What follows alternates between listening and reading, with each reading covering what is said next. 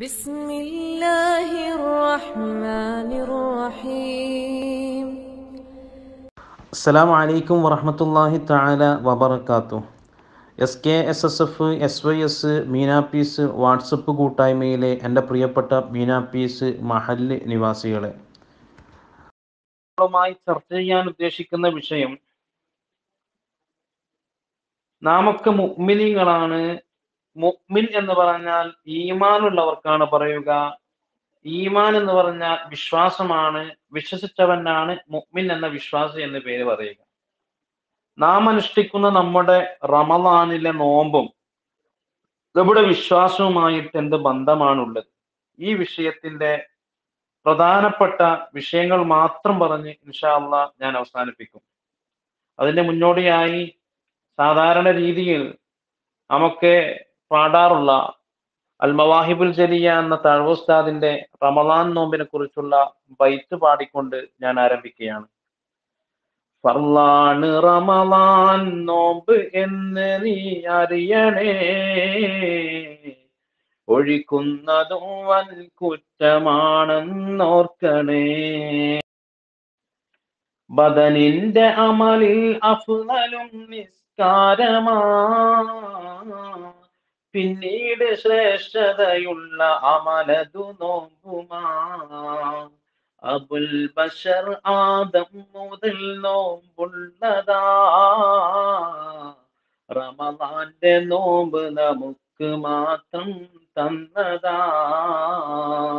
ഇത് ഹിജറ രണ്ടിൽ തന്നെ ഷഹബാൻ മാസമിൽ ഫർലാക്കപ്പെട്ടെന്നും സുയൂത്തി സാലയിൽ ഇരുലയിലധികം പൂർണമാസമില്ലന്ത്യമിൽ മറയുന്നതെല്ലാം നാട് ചന്ദ്രൻ നിയമമിൽ. സല്ലു അലൈഹി വസല്ലിമു തസ്ലീമാ. സയ്യിദന മുഹമ്മദിൻ സല്ലല്ലാഹു അലൈഹി വസല്ലം. വളരെയധികം വിഷമം നിറഞ്ഞ വല്ലാത്തൊരവസ്ഥയിലാണ് നാമൊക്കെ ഉള്ളത്. പരിശുദ്ധ റമദാൻ മാസത്തിന്റെ ചന്ദ്രക്കല ആകാശത്ത് കണ്ട സമയം മുതൽ മീനാപ്പീസ് ജുമാ മസ്ജിദ് ജനങ്ങളെ കൊണ്ട് പൊറുതിമുട്ടുന്ന വളരെ സന്തോഷമുള്ള കഴിഞ്ഞ റമദാനുകളിലെ അവസ്ഥ. കഴിഞ്ഞ ദിവസം റമദാനിന്റെ ചന്ദ്രക്കല ആകാശത്ത് കണ്ട സമയം മുതൽ ജനങ്ങളെ കൊണ്ട് തിങ്ങി നിറയുന്ന മീനാപ്പീസ് ജുമാ മസ്ജിദിൽ ആവശ്യത്തിന് ജനങ്ങൾക്ക് പോകാൻ പറ്റാത്ത സങ്കടകരമായ അവസ്ഥ. ഓർക്കുമ്പോൾ തന്നെ വല്ലാത്ത വിഷമം വരികയാണ്. മിനാപ്പീസ് മഹലിലെ പല യുവ സുഹൃത്തുക്കളും ഈ വോയിസിലേക്ക് വരുന്നതിന് മുമ്പ് വരെ ബന്ധപ്പെട്ട് സങ്കടങ്ങൾ പങ്കുവെക്കുകയാണ്. ഉസ്താദെ ആ റമദാനിൽ പള്ളിയിൽ വന്നിട്ട് നമ്മളൊക്കെ നിസ്കരിക്കുന്ന ഒരു സുഖമുണ്ടല്ലോ. റമദാൻ പതിനഞ്ച് കഴിഞ്ഞ് രാത്രി നാമൊക്കെ കിയാമുല്ലയിലൊക്കെ നിസ്കരിച്ച് പള്ളിയിൽ നിന്ന് തന്നെ അത്താഴം കൂട്ടമായിരുന്ന് സന്തോഷത്തോടെ കഴിച്ച് ആ ഒരു സുഖമൊന്നും ഈ റമദാൻ കിട്ടൂല ഉസ്താദ്. ഇങ്ങനെയുള്ള സങ്കടങ്ങൾ കേൾക്കുമ്പോൾ എന്താണെന്നറിയില്ല. മനസ്സിന് വല്ലാത്തൊരു വിഷമം വന്നതുപോലെ എന്നിരുന്നാലും അള്ളാഹുവിന്റെ കതിറക്കൊള്ളാഹ് നമുക്ക് ആർക്കും തടുക്കാൻ പറ്റില്ലല്ലോ. അതുകൊണ്ട് ഈ പരിശുദ്ധമാക്കപ്പെട്ട റമദാൻ വീട്ടിലിരുന്നു കൊണ്ട് ഈ വാദത്തുകളെ കൊണ്ട് ധന്യമാക്കിക്കൊണ്ട് മാക്സിമം ചൂഷണം ചെയ്യാൻ നമുക്ക് കഴിയണം. അള്ളാഹു തോഫീക്ക് നൽകുമാറാവട്ടെ. നിങ്ങളുടെ മുമ്പിൽ ചർച്ച ചെയ്യാൻ ഉദ്ദേശിക്കുന്ന വിഷയം ഞാൻ പറഞ്ഞു. നമ്മുടെ ഈമാൻ റമദാനുമായിട്ട് എങ്ങനെ ബന്ധിക്കുന്നു? അതല്ലെങ്കിൽ റമദാൻ ഈമാനുമായിട്ട് എങ്ങനെ ബന്ധിക്കുന്നു എന്നതാണ് ഇന്ന് ഞാൻ ചർച്ച ചെയ്യാൻ ഉദ്ദേശിക്കുന്ന വിഷയം. ഹബീബായ നബി മുഹമ്മദ് മുസ്തഫ സല്ലല്ലാഹു അലൈഹി വസല്ലമ തങ്ങൾ പറഞ്ഞൊരു ഹദീസ് കാണാം. അസ്സൗമു നിസ്ഫുസബർ നോമ്പ് ക്ഷമയുടെ പകുതിയാണ്.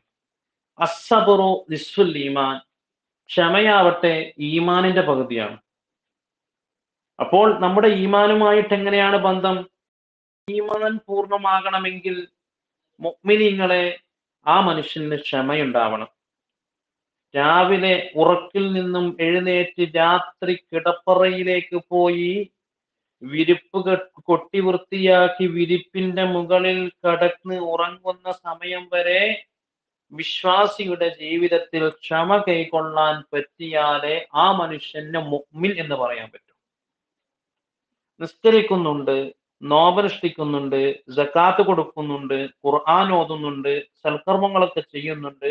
വീട്ടിലെത്തിയാൽ ഭാര്യയോട് നായയായും പൂച്ചയായും അതുപോലെയുള്ള ക്രൂരമായ രീതിയിൽ അങ്ങോട്ടും ഇങ്ങോട്ടും തല്ലുകൂടുന്ന രൂപത്തിൽ കുഴപ്പങ്ങൾ ഉണ്ടാക്കുന്ന രൂപത്തിൽ ചീത്തവിളികളും സംസാരിക്കാൻ പറ്റാത്ത സംസാരങ്ങളുമാണ് നാവിൽ നിന്നും വായിൽ നിന്നും ജീവിത ചിട്ടയിൽ നിന്നും ജീവിതശൈലിയിൽ നിന്നും വരുന്നതും പ്രവർത്തിക്കുന്നതുമെങ്കിൽ ആ മനുഷ്യന്റെ നിസ്കാരം കൊണ്ട് കാര്യമില്ല നോമ്പ് കൊണ്ട് കാര്യമില്ല ഖുർആൻ പാരായണം കൊണ്ട് കാര്യമില്ല ഇല്ല സറക്ക് കൊണ്ട് കാര്യമില്ല. കാരണം ആ മനുഷ്യൻ മുഗ്മിനായിട്ടില്ല മുഅ്മിനീങ്ങൾക്കാണല്ലോ സ്വർഗമുള്ളത് മുഅ്മിനീങ്ങൾക്ക് വേണ്ടിയാണല്ലോ അള്ളാഹു താല സ്വർഗം തയ്യാർ ചെയ്യപ്പെട്ട് നമ്മൾ കാത്തു നിൽക്കുന്നത്.